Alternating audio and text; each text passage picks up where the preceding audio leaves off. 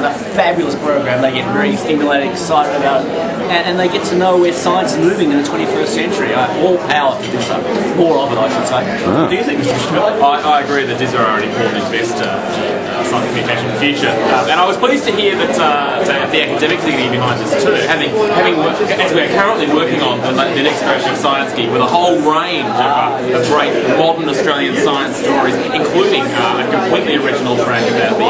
SKA project. We're very excited to see the academic world embracing that. So, and in fact, the scientists themselves. Uh, there is a there is a vibe in the air, uh, and it's a vibe of excitement.